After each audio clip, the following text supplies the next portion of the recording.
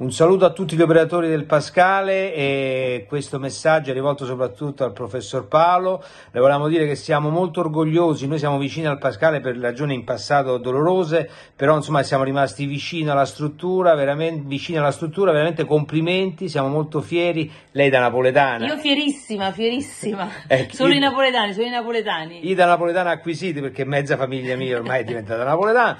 Quindi veramente, veramente tanti, tanti, tanti complimenti, un saluto. E in bocca al lupo per questa sperimentazione, speriamo che sia la, la, strada giusta per tutti noi. A lei e a tutti quelli che al Pascale lavorano e diciamo si spendono eh, tutti i giorni.